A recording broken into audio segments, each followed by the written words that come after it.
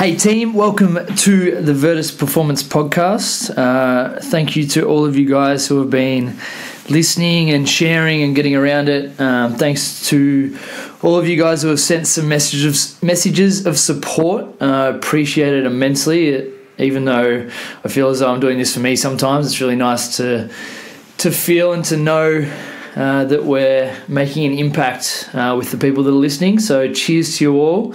Today's guests, uh, we've got a couple of the legends from To the Edge High Performance Centre, uh, which is a elite athlete gym in Newcastle in New South Wales. So, Coop and I were up in Sydney for a couple of days for a little bit of a mastermind event. Uh, we caught up with Dan and Meg from To the Edge, um, a probably a power couple, we'd probably call them. Power couple from up there, um, doing amazing things, uh, making the world a better place. So it was really cool to be able to sit down uh, and have a chat about what they're doing, what we're doing, and um, yeah, how they're uh, changing the lives of all the people uh, that they come in contact. So without further ado, enjoy the episode.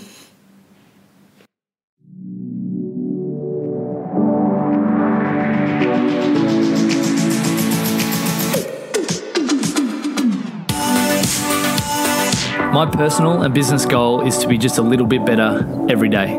I believe everyone, especially normal people, have a story to tell. The Virtus podcast exists to help us all find small ways of consistent improvement by discussing the journey and experiences of each of our guests.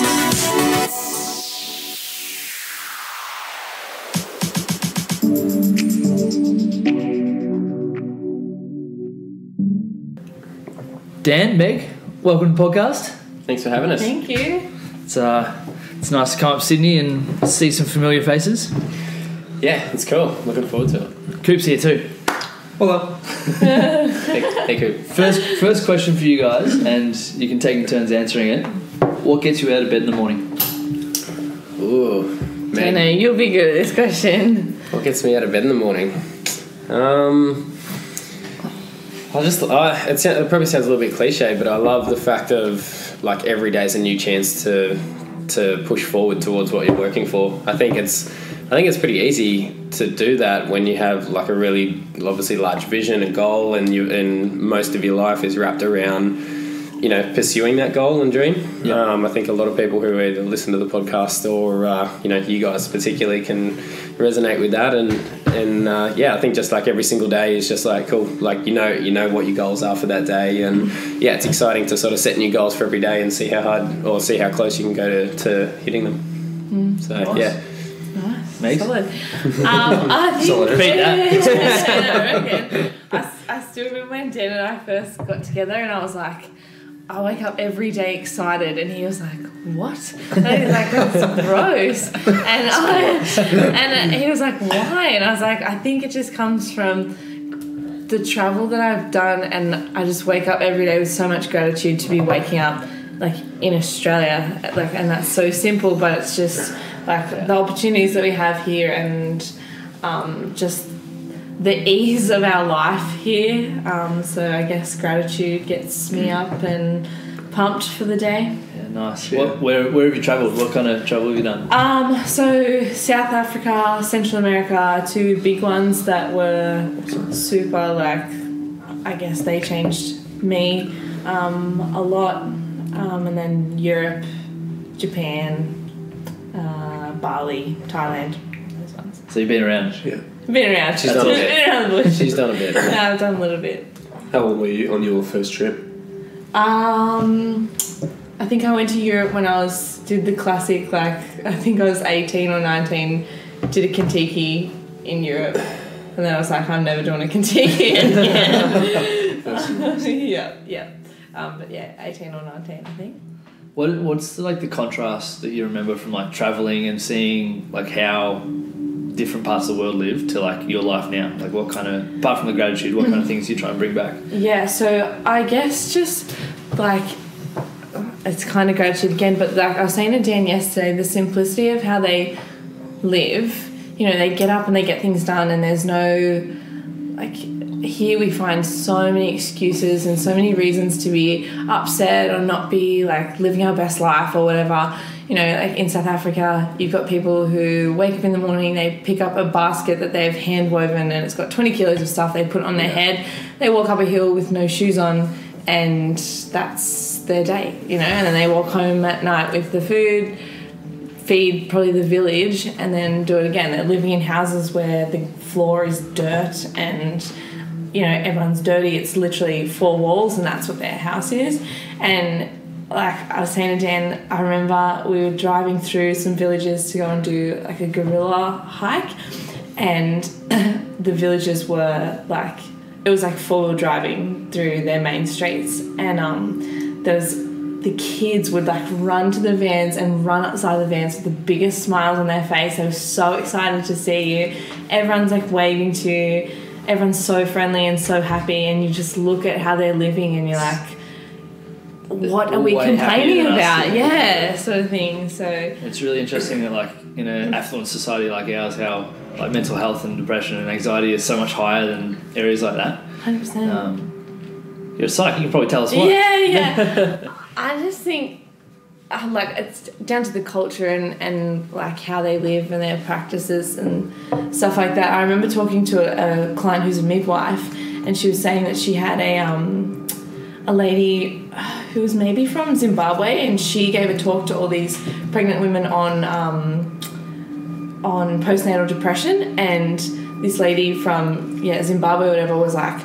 Like, why would anyone get postnatal depression? You know, like you have a kid and it goes out in the community, and the community has a kid, and it's like the the contrast in how we practice and what we as society do, and just you know, it's like we're constantly searching for so much happiness that we forget all the little things that We should be uh, grateful for. yeah, hundred percent. That that they don't. Maybe it's because they don't know all these other things that they could be having, but they're grateful for the things that they have, and that's all that they look at, sort of thing. They probably also don't have social media as well. Um, so they can't see the grass is greener on old Matt's side of the fence in America, living in his mansion. Yeah. Um, yeah, all they've got is all they've got, and they're doing the best with that as they can. Yeah, it's really interesting. Mm. Dan, you talked about a big goal. Mhm. What is your big goal?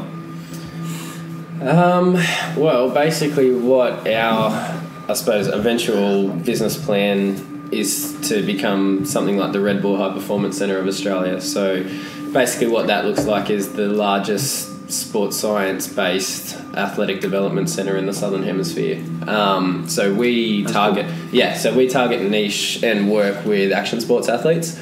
Uh, in particular, like we work we work with a, a, a large spectrum of athletes, but what we really focus and specialize in is the action sports guys. So, yeah, we're basically uh, basically working and collaborating with a few of those big companies like Red Bull uh, at the moment, and uh, which is a huge sort of foot in the door for what our end dream is. But yeah, that's uh, that's definitely what we wake up and picture every morning is uh, is the Red Bull High Performance Centre of Australia, which obviously doesn't exist at the moment.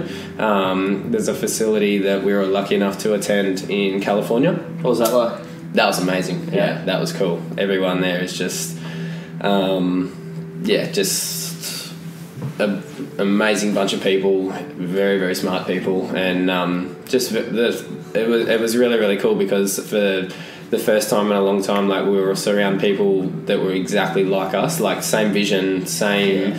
passion for you know pr- producing the best action sports athletes in the world, and you know just people uh, was we were with a team of people who basically just thought every single day was thinking outside the box like okay cool what's never been done before let's go do that Yeah. you know and and you know just to, to be with a, a group of people like that for a week was just um, yeah it was it was really really cool and a really good insight into um, you know what what potentially our, our future will look like so Yeah, kind of like a crystal ball for a, for a little bit. yeah it was exactly like yeah being able to look and, and step into a crystal ball for a week which was uh, amazing How would you like kind of come to the conclusion that you like did that was what you wanted to do? Um, I, that sort of came to me a, a long time ago, even before starting um, to the Edge High Performance Centre. So, I my, my background is um, I played really high level baseball when I was younger, um, playing for like New South Wales and Australia and stuff like that. Like from the time I was twelve to sixteen. Yeah.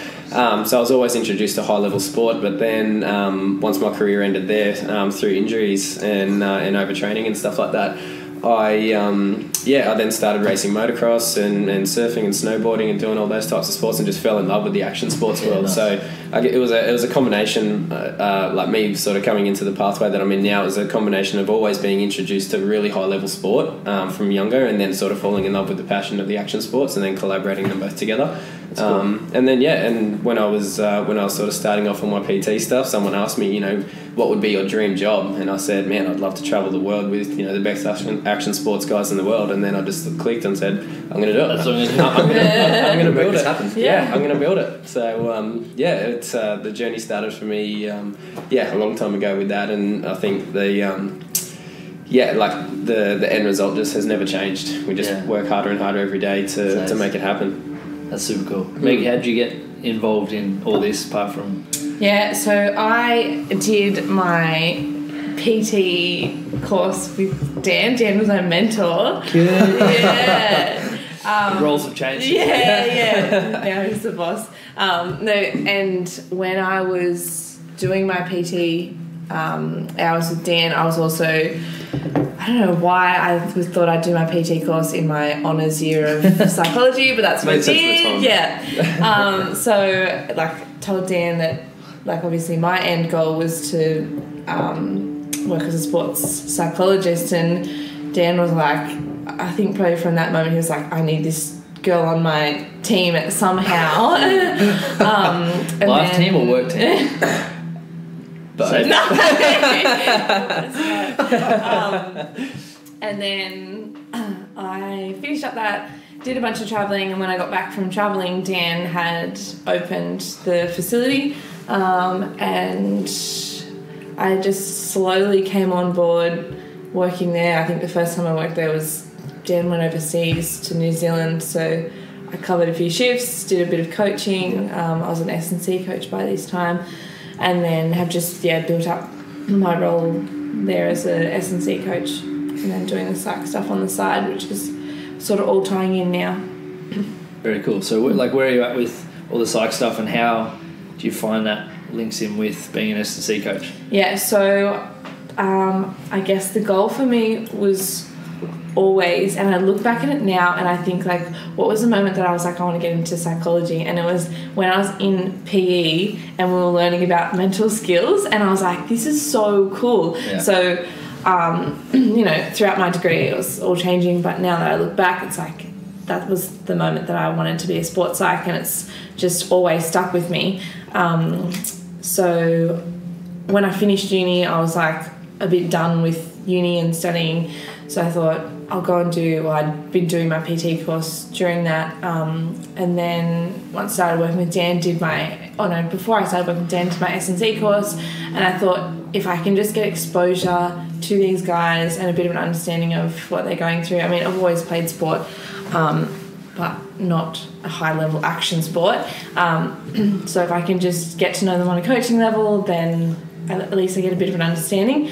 Um, and then I'm halfway through my internship now, um, so I've got one more year of that to go um, to become like a registered psychologist Yeah. um, and then I can start fully practicing as a sports psychologist. That's At the moment, it's got kind of just like dribs and drabs. Still like learning from a sports psychologist here in Sydney, Yeah. um, and just doing bits and pieces here with clients or with athletes that we've already got. That's super cool. Yeah. Do you find you like start bringing some of it into your S and C, like when you're coaching? I actually try and keep a Keep lot of it it separate? separate. Yeah. Um, I it's it's good. I take a few. I have a few athletes in my role, um, but a lot of my clients are sort of more of the general general population that we've got at the gym. Um, so I don't feel that I need to work that. I mean, the other day I did like concentration and pressure drills with some of my athletes. Um, but that's kind of as far as I'd go. Yeah. Um, yeah, I don't sit down with them. I try and, if I'm going to see someone in a psychology consult, they're Dan's client or they're external from the gym. Um, Yeah. It just blurs the roles a little bit too much. Mm-hmm. Yeah, that's cool. Obviously, you guys have had a, quite a few successful athletes come out of come out of your gym facility. Take all the credit. What are what are the biggest sort of success factors or or personality factors that you see in these guys that determine that sort of success? Um, It'd be interesting to see from a S and C point of view and a Yeah, psychology point of view as well. They're very different. The um, when dealing with action sports athletes, it's it's something that we sort of clicked onto early in the piece when trying to uh, program them.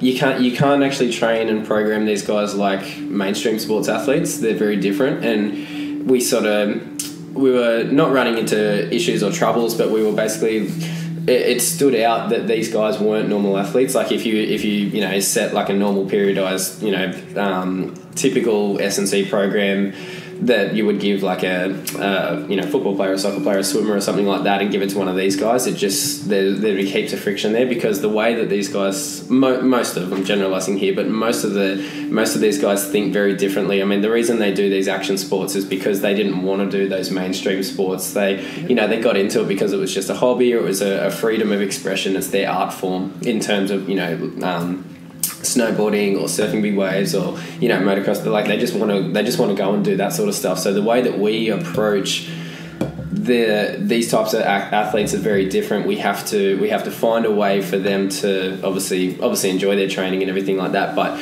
we have to find a, a different avenue for to, to get them to do I suppose you know the sciencey stuff and all that sort of stuff but without them I suppose realizing it too much. Yeah. like we don't put it in their face as much as you would a football player a soccer player. Yeah. those types of athletes they know that there's you know there's a regimen to follow there's a structure it's a lot of repetitive stuff. You know the, the action sports guys they they they work very very differently and so you have to find different methodologies and different ways to to get the I suppose get the outcome you want out of them but you know um, approaching it very differently. So they're um, yeah they're a different kettle of fish. They're super fun to work with and challenging but um, Yeah, but yeah you can't um, yeah you can't treat them like a normal athlete because they're really not I guess one of your biggest goals as a coach is just to keep them on the board or on the bike. Yeah, keeping them healthy through it. Like like their injury rates are ridiculous. Like some of these motocross riders have broken nearly every bone in their body. It's insane. You know, Yeah. they're pinned and plated and fused and and all that sort of stuff. And so you've got this, you know, almost like robotic type movement person who you now need to train you know, at a high intensity at a high level. Mm-hmm. And you know, most of the challenge is literally just keeping them, you know, healthy throughout the season, so they're always competing and you know they're doing what they love. Really, like if you if you can keep someone on the board or on the bike. You know, pain free for a whole season, doing what they love. Then you know that, that's what they're there for. So, yeah, there's, there's different challenges with those guys. Mm. Awesome. You guys are two both pretty driven and up and about humans. How do you like keep yourselves accountable and keep each other accountable to looking after yourselves?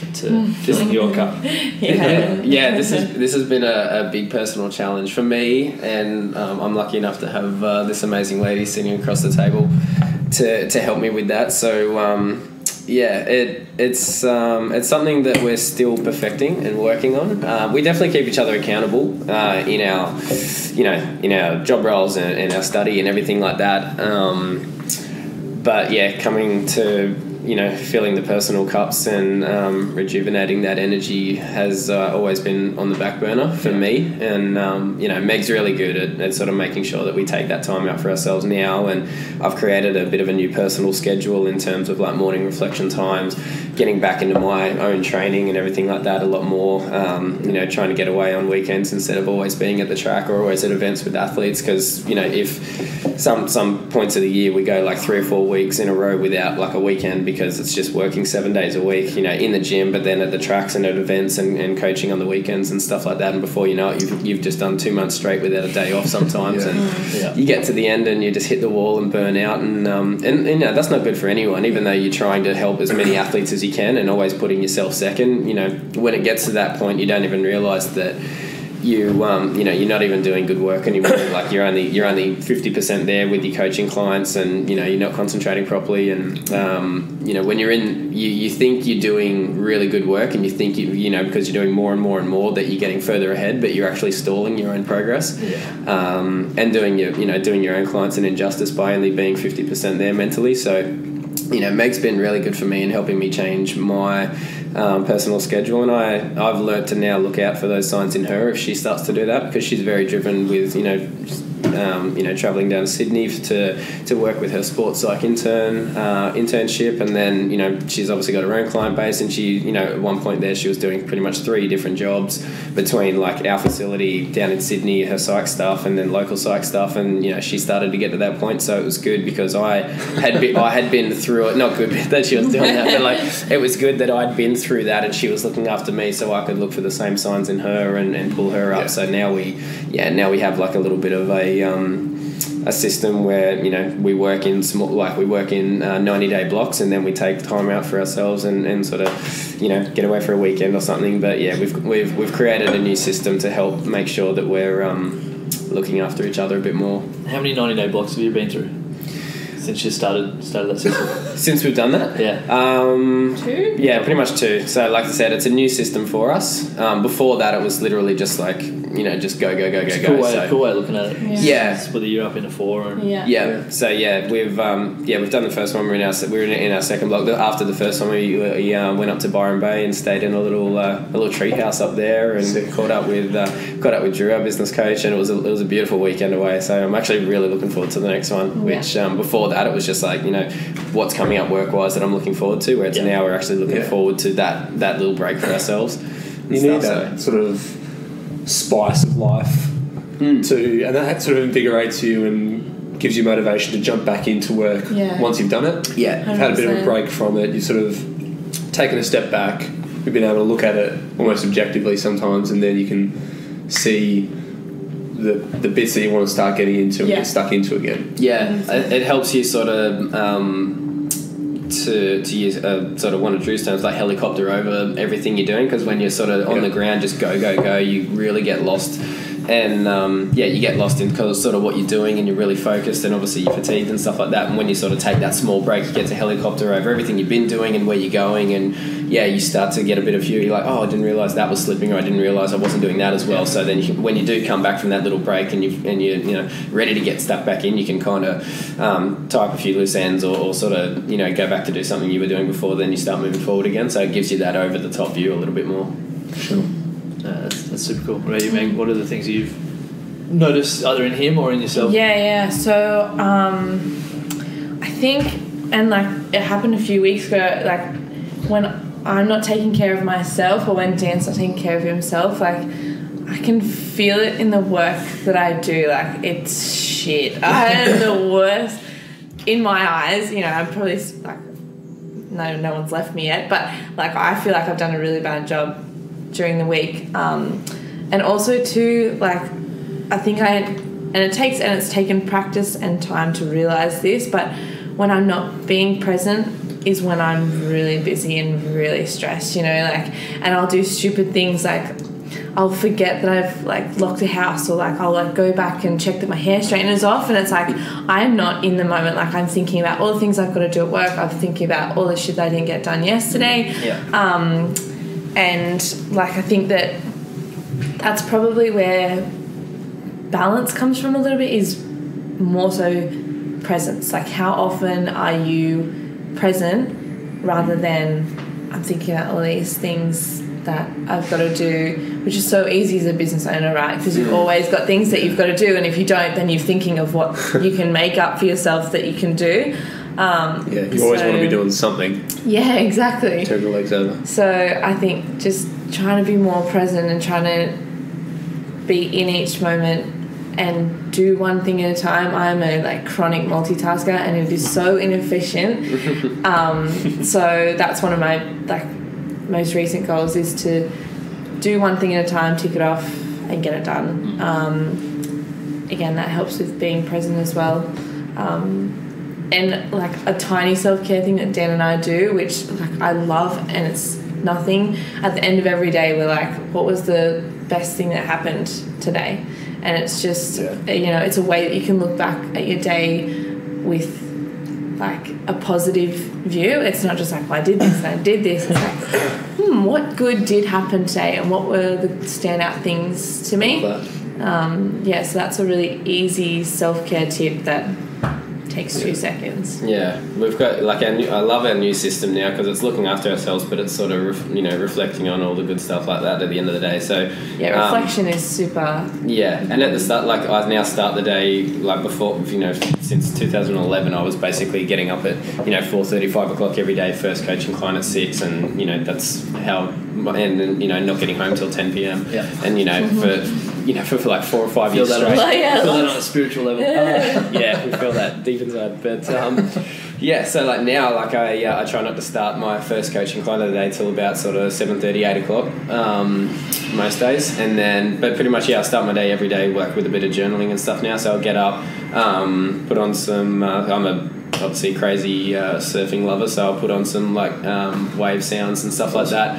Um, go to our little Zen room and um, yeah, just do some stretching and journaling and you know, I start my day writing down what three thing three things that I'm grateful for, like right now in my life, and you know, every day it changes. Most of the time, one of those is always Meg. So like having her there is, you know, look, having, having her always there to, to, to look after me. But um, you know, just yeah, three three things I'm grateful for, and uh, and and then three things that's going to make today great. So like three, it doesn't have to be a huge goal, and it's not a it's not a to do list. It's just like th- like three things to make today great. So it might be like seeing the like like driving past the beach on my way back home for lunch, you know, uh, or something like that, or, or making sure I train today, or um, you know, might, if I've got a staff meeting, it might be like like bring, bringing hundred percent of myself to the staff meeting and you know leading the team today.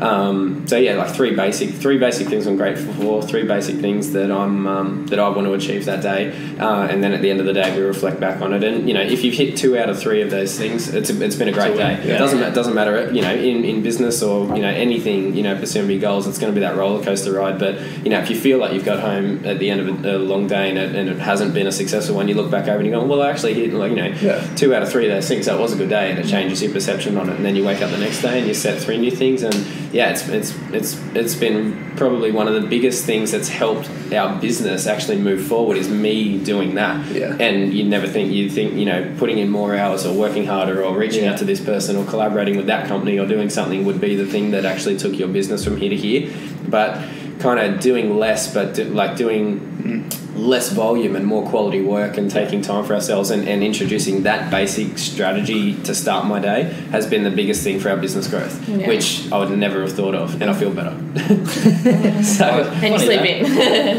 I can test that as well. Yeah. Like, I, I've been doing journaling lately as well. and do a very mm. similar thing. So I write my gratitude. I write my intention for the day, Yeah. and then a few targets that I want to that I want to hit. Yeah. And yeah, I just find it gives you so much clarity on what your intention is for the day. Yeah. How you want to sort of, and it, it defines how you start your day as well. Yeah. Like the way you start is the way you finish. Yeah. So if you start on the front step, then you'll finish strong as well. Yeah. Yeah. Um, I, I, I agree. I think that's one of the biggest factors for me that's helped my success and helped my uh, productivity Yeah. over the last few months. Yeah, it can be really easy. I think as a, like as a business owner to feel like you're so busy, but you're actually not. You know, like Yeah. you're not doing anything productive. You start but one you thing like for five minutes, and you Yeah. get to another thing, and then next thing you know, it's three hours later, and you've done nothing. yeah, exactly. But you're like, I'm so busy, and it's like, wait, what have I actually achieved today? Yeah, Nothing. I read a really good quote in um, Tim Ferriss's Tool of Titans that um, busyness is a form of laziness. it was just like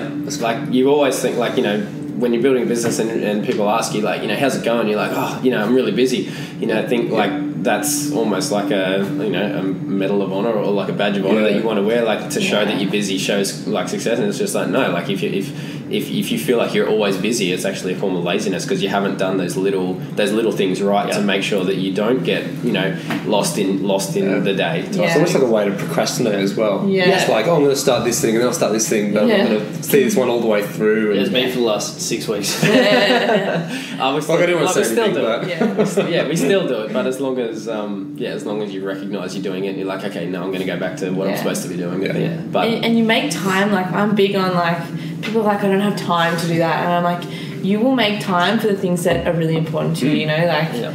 if Yeah. something matters, like you'll find a way. Even still, when Dana was like, I don't have time for that, I'm like, well, like you can make time if you really want to Yeah. do it. Hundred percent. Yeah. If you really want something, Yeah. you'll find the time you Exactly. do it. 100%. If not, then it's not a priority to you. Yeah. Hmm. Exactly. Yeah, definitely. But some things like health and things like that, like training for me, become less and less of a priority.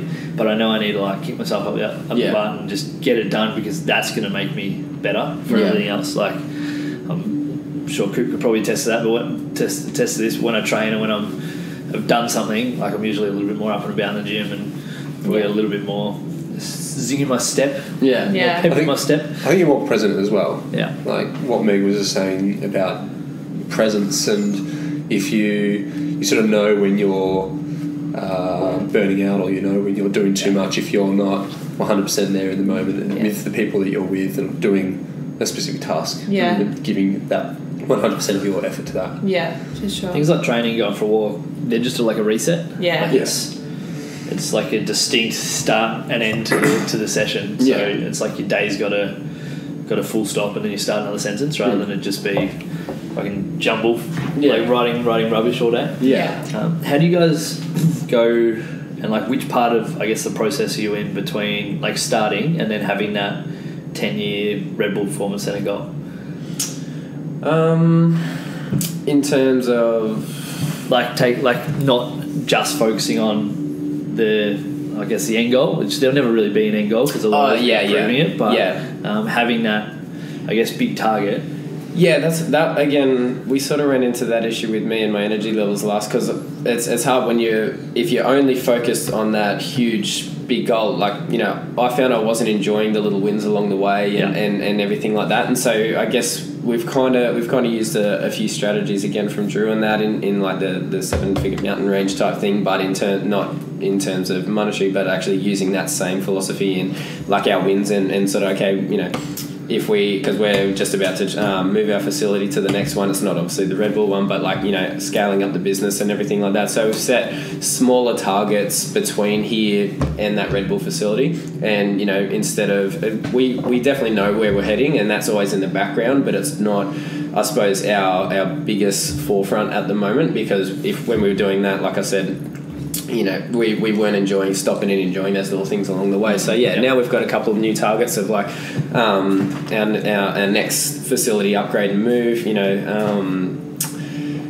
obviously like different revenue numbers, different um, different projects that we want to sort of bring into the mix as well. So we've kind of broken that huge ten year plan up into into smaller blocks, kind of like you know the breaking a year up into the ninety day blocks, and then that way for us, when you know we're now stopping and celebrating the wins along the way and enjoying the process a lot more. I think Yeah. that's the biggest thing is is when you know you you do something really well and you achieve the next step you know uh, in your business or, or in whatever you're doing but you've got such a long road to go you know you don't stop and enjoy it. You're just like okay cool that's done. What's next? Yeah. okay cool that's Yeah. done. What's next? And Having those little wins makes so much difference. yeah definitely. And, and again that's what that's what Meg really brought me back to was you know we have to stop and enjoy. Next.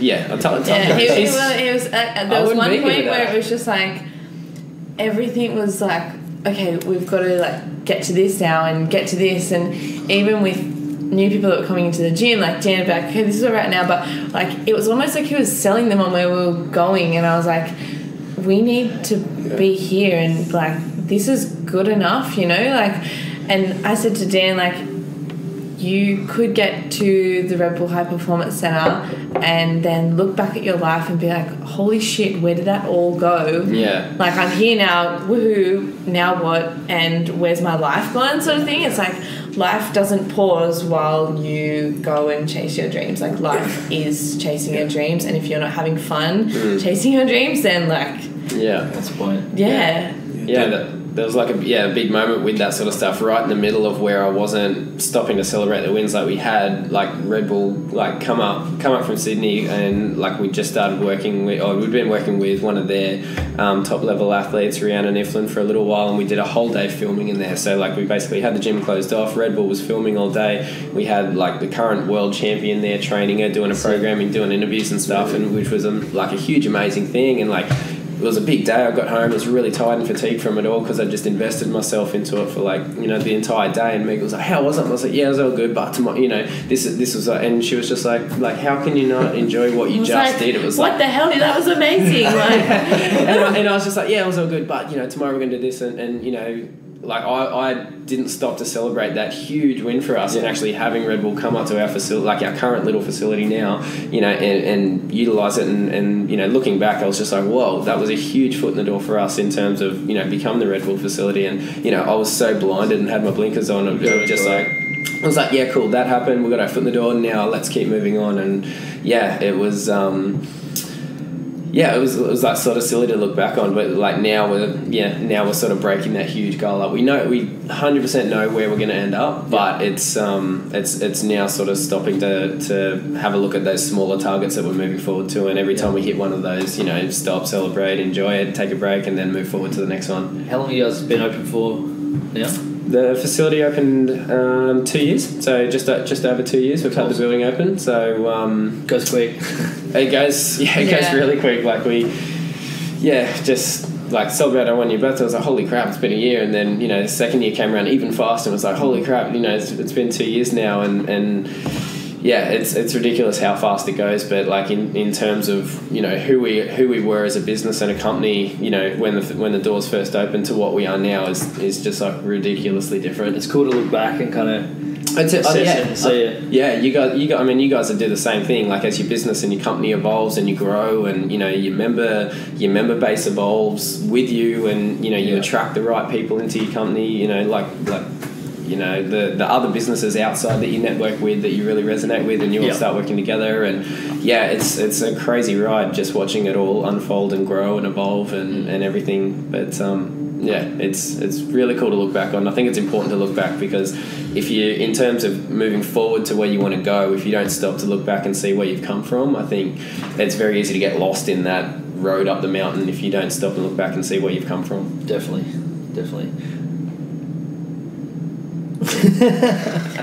Um, I want to touch on before about uh, a bit more like training training methodologies. Yeah. So, let's say uh, we had a new athlete walk into your gym. What's the sort of process that they go through to um, be inducted into your into your performance center? Yeah, cool. So we're actually like really, really like happy and excited with our process now. Um, with that, basically what we do is um, we do like a, a three session onboard process. So for us, like what we do, every single member of our gym, whether they're an everyday athlete or a world champion, basically has their own custom tailored program to suit them, their individual needs and their sport. And so we obviously utilize like a lot of our, um, you know, the, the sports science side of it and the rehab side of it behind building that program. So when an athlete walks in the door, we basically sit down, we go through a really in depth consultation with them, find out who they are as a person, as an athlete, what they do. So we'll use, you know, just like a um, uh,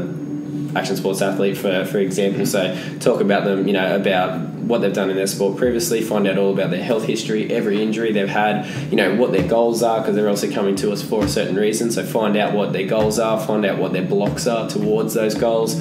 Um, then we'll take that, you know, once we've collected that sort of data, then we'll go into uh, into the gym and do sort of like a level one um, fitness testing, which is a pretty basic. Um, overall battery test system to begin with. So we just want to get a bit of framework around um, them as an overall athlete. You know, obviously their um, their conditioning, their strength, their um, movement quality, all that sort of stuff.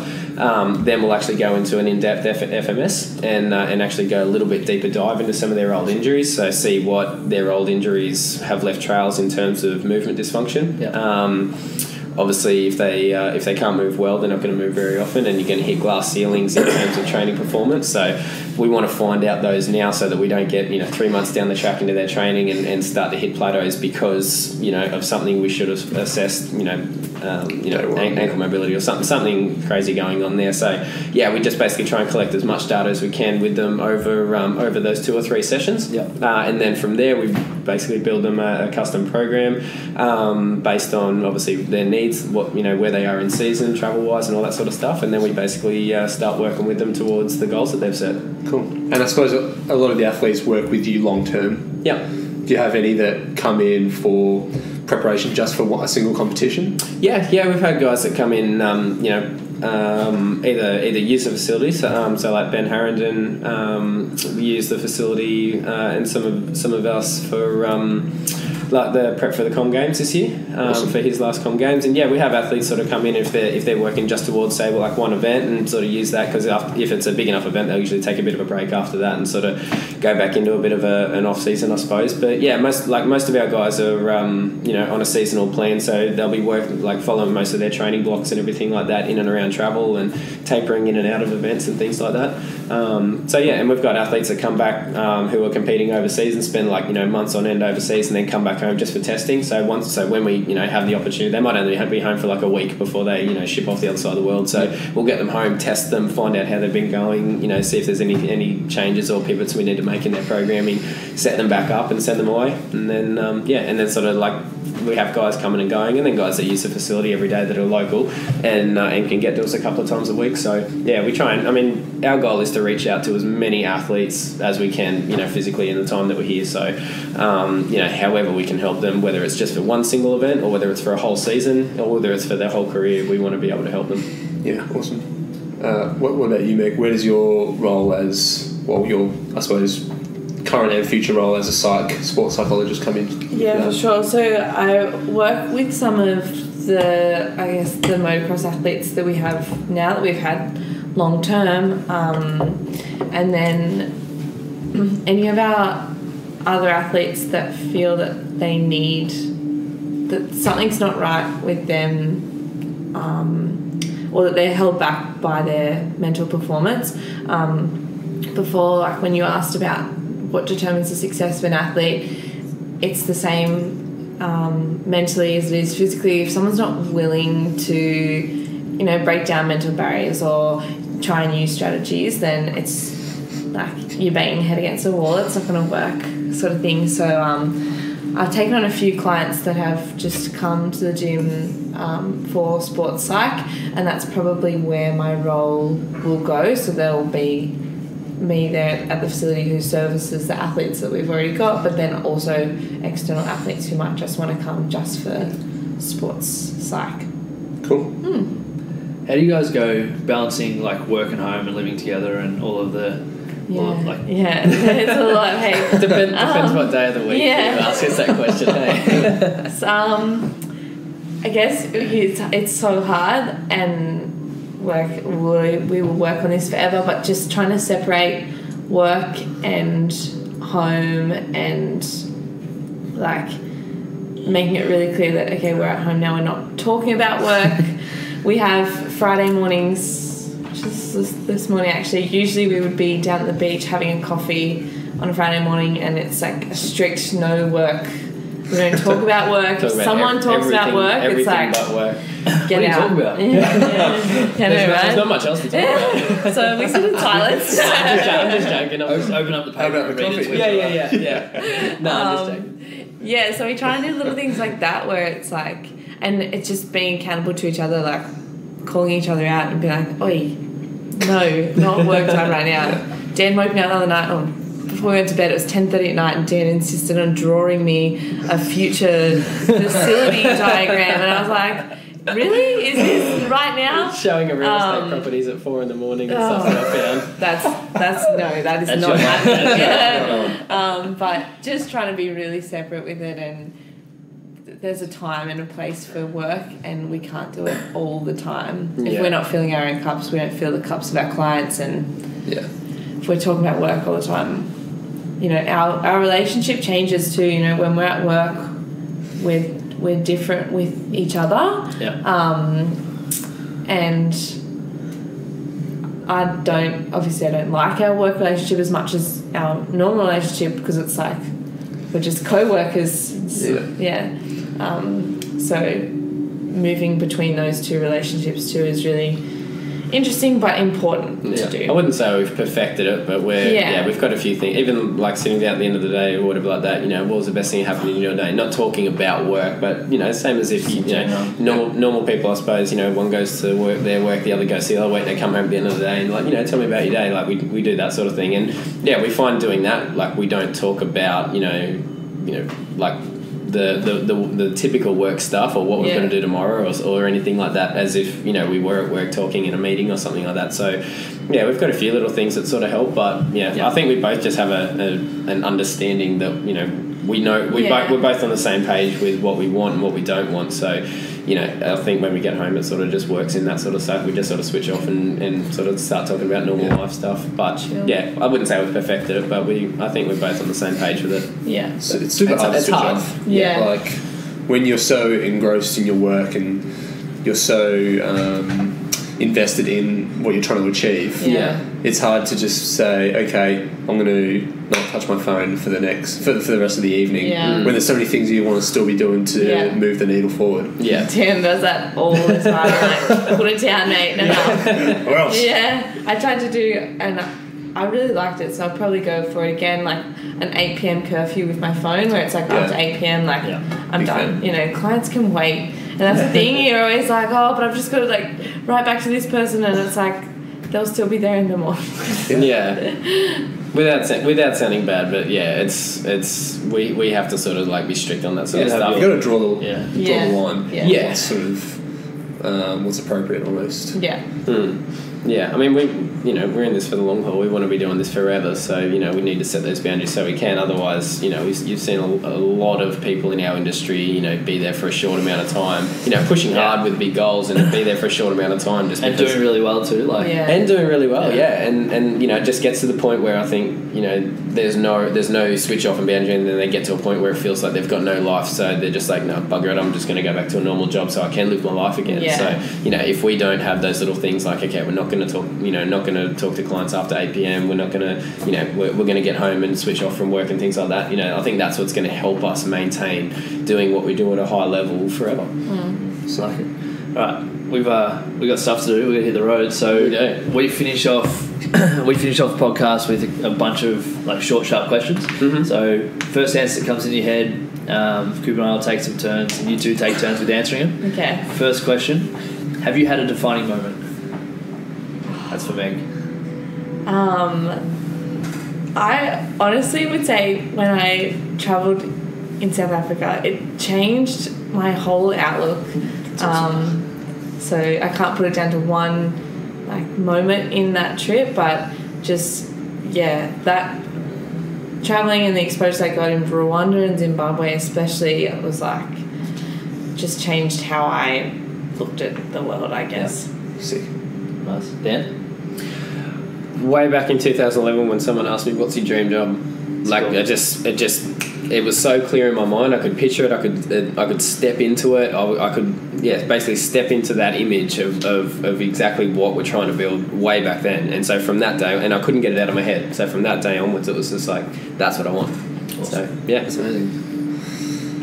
Okay. Uh, what is your? Do you have a specific? We've sort of already gone over it. Specific morning routine. Take us from when you wake up to your first client. Yeah, so wake up, go into our little office slash zen room, put on some uh, some ocean sounds of, of some waves. So because that's that's my when I'm out in the ocean, that's the only place I feel like I can completely switch off from the world is when I'm even if it's like you know ten foot surf and pumping, like I can, I can be relaxed out there. So I'll, I'll wake up, put those sounds on, um, do some stretching and some movement stuff, and then do my journaling. Three grateful things, um, three things I want to achieve today. Um, then I'll go from there, have a shower, and then um, yeah, basically get ready for work, head out to work, and then um, yeah, see see how all the all the team's doing, and then have Ricky out there while I start uh, planning the day. Mine always starts a little bit differently. Like some mornings I work really early, um, so on those mornings I literally get up, drive to Macca's and get a coffee, and, um, yeah, and go Make your own or go without. Standards. Warners, if anyone's in Newcastle, Warners Bay Coffee at Macca's. That's where it's at. Um, so those are my like two early morning days. On days where it's not an early morning start for me, or I've got the morning off, we've got a little puppy, and I just I love to. Pl- I love fetch more than he does, to be honest. I think so. I'll often like take him for a walk first thing in the morning. Um, and that's a little thing too that like makes me really present. I'm Yeah. just focused on human playing cool. fetch. So that's probably what I do on the mornings where I'm not super early to work. So it's either, it's either a puppy walk or a Macca's coffee. Yeah, yeah. both equally as good. Rock's dying.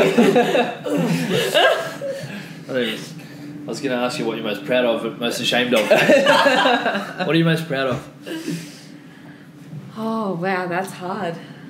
Um, you go first. I'm probably most proud of.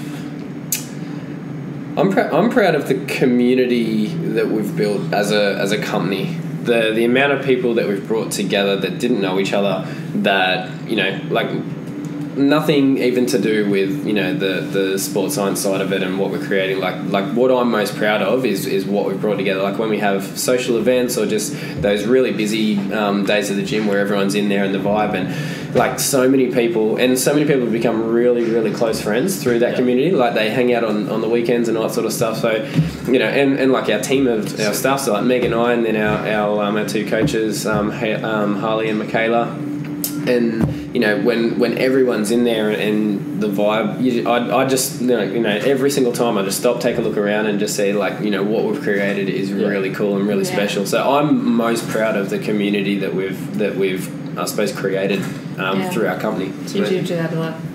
I'm like proud of Dan a lot. I would say like, I always say to Dan how proud I am. I mean I changed my answer I'm really proud of it um, You're going to pay for that. I guess uh, what are- I'm most proud of probably the determination of both of us to keep doing those things um, and the determination that we carry through in all aspects of our life. Like, it seems that nothing has been too hard so far um, or too too big for us sort of thing. So it's a hard thing to upkeep, I think, determination and. It's so easy to stop and give up. Um, so the maintenance of determination, maybe. Good. Awesome. Very good. What are you most excited for over the next 12 months? Oh, wow. Um, the next 12 months. I'm super excited to upgrade the facility. Um, Really? Yeah, I'm so excited. It's pretty exciting. Uh, um, yeah, to do that and for the opportunities that will come from that. Um, in our personal life, probably going to do another trip maybe to Japan. So I'm Mm, super stoked nice. to do that at the end of the year. Nice. Um, Very cool. yeah, and and to like my psych career develops more and more every week, and that's something at the moment that Yeah. for a while it's been a bit stagnant and not really moving, and at the moment it's moving kind of rapidly. So I'm really excited for that to progress and to be more in that career role. Like the more and more I take clients on at the gym for psych, the more I'm like, man, I love it. Like I am frothing. so yeah, for that role to get bigger and bigger, I'm really excited for it too. Sick. Yeah, no, same for me. Like the the facility, the facility upgrade for us. Um, you know, I've been I've personally been working in the background on this for a long time, like like since mid last year, and it's created a lot of stress and everything like that. And it's finally so close to happening. So as far as like looking forward the next twelve months, yeah, but not in terms of being able to walk into a bigger gym or you know a fancier gym or whatever like that and have shiny new things. It's it's the opportunities that it creates. So like you know with upgrading the facility, you know and you know expanding out, we can bring on like we're gonna we've got a bunch of legends in uh, in Newcastle, next gen physio guys. They're opening up a satellite clinic in there. So it's like it's you know and we've just aligned with some really really. Um, really really great um, sports dietitians that we're going to be working with as well and sort of Awesome. uh, um, that's like the final pillar in terms of our business model um, between uh, high performance rehab, um, nutrition recovery, like every everything's um, psychology, bringing it all in, like our pillars of what the business are, and Awesome. And so yeah, like the facility upgrade allows us to finally you know expand and, and open up those new opportunities for us and our members and be able to grow. So yeah, it's nothing to do with the new equipment or the bigger space and you know like feeling better about yourself that way. It's it's literally the all these things that all these things that we've sort of been waiting to unravel and, and be able to do. Um, and those opportunities, and then yeah, like Meg said, I'm pretty keen to get back to the snow as well, and, and do a few little things like that, and like our little person, our little personal breaks, you know, mean so much to us now. So yeah, there's so much to look forward to. That's going right back to the start of this, what gets us up every day. Very cool. Oh, good. Uh, to finish off, I want favourite book or learning resource and favourite quote. Ooh. Um, It's hard. I'm a bad quotes person. Um, Just butcher one. I'll just make one up. Yeah. Quite an Um, original Meg. yeah. Um, favorite book or learning resource. I'll jump into this one. What do you think? Yeah. My one of my favorite books. My sister actually got me. was a book by Jack Delosa called Unwritten. Yeah. Um, it's not a, it's not a, a huge, big, in depth book, but like some of it, it was just very real and, and, and hits very very home with a young entrepreneur.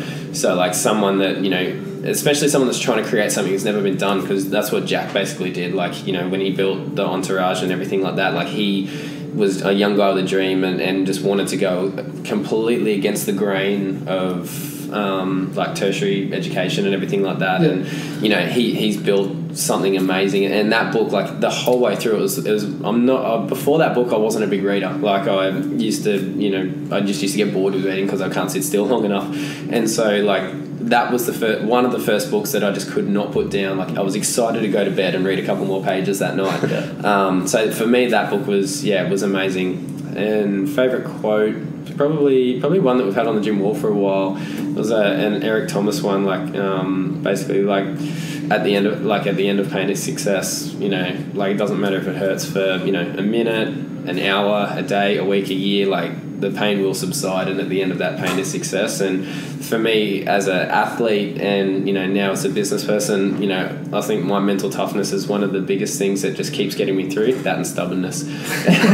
Oh, Same yeah. thing, Same thing, yeah. Same thing, but yeah, like you know, I doesn't doesn't matter for me how much it hurts or how tired I am or just like how much it sucks right now. I'm always going to push through that. So for me, it's always resonates. It's like doesn't matter how much it, it hurts right now. At the end of this is is the success. So if, I don't I don't know that one uh, that one for me is always stuck. Love it. Um, a book that I probably really enjoyed, and it seems like it's a really specific book, but it's it's called How Bad Do You Want It, and it's um, I'm not sure if it's written by sports psychs, um, but it's centered around endurance athletes and sort of what goes on mentally for them. Um, but I think it, it also can be really applicable to anyone, um, and you know how bad you want something. Um, so that's probably one of my favorite books. Um, a quote. Cracky, you've stumped me. Oh, we're in no rush. Um, Can't be late again. yeah, we'll be fired. um, there is, and it comes from that book. It's a it's a quote. Again, it's about gratitude. It's something long-winded, but it's like it centers around gratitude being about the process. Yeah. Um, it's a few sentences, but it, that's the heart of that Cool. quote. Is that it's all about. What's your guys' favorite quotes? Oh man, I say the term my favourite quote about eight times a day. Yeah. Um, my favourite one at the moment is probably just you can have anything you want, but you can't have everything you want. That's what I was going to say. Oh, Yeah, two minutes spend too much time together. yeah, it's just That's cool. I like that. yeah. So you can you can have it anything you want. You've just got to figure out what's most important because you can't do it all at the same time. Yeah. Um, like I want to travel the world a lot, but I also want to run a business, so I can't Yeah. do both. Mm-hmm. Yeah, and I said I said to Dan on the way down here, I was like, "How cool is it when you change your mind from thinking of all the things that you have to do, and you change all the things that you get to do? Like, like I was I don't know, I was thinking about the other day, and I was like, you know what? If I wanted to move to Bali tomorrow, could. I could do that. Yeah. Like I could make that happen. Yeah. And it's like I think when you get stuck in, I have to do this. I have to pay tax, and I have to wash my car, and I have to, you know, like all those have tos. It's like God, you get so bogged down where it's like I get to wake up and do this, and if I chose to, I could do this lucky tomorrow. might do that, Yeah. Yeah, very cool. What's yours? Quote her up, Coop. Uh, To finish it off. Wrap it up. It's going to be good. I don't know if this is a quote. This is just something that I've been thinking about lately. A But cool quote. this is a Coop original, probably. Probably, maybe. Uh, don't delay happiness. Ooh, Yeah. good. yeah, I like, Like, that. why, like, attach your happiness to goals the or end goal. Yeah. yeah, or like, just, or obtaining something yeah, material. Why can't you just be happy now? Yeah. love that. That's going to be on. Mic that's going to be on a, uh, a card or a, a that's going to pop up on a uh, motivation meme or something like that. Like, Some- in, a, in, a, in a couple of Put it on days. Good for you guys. Thanks for coming on. Thanks Yeah. for having All right, us. thanks for having us. Thanks, Noah. guys.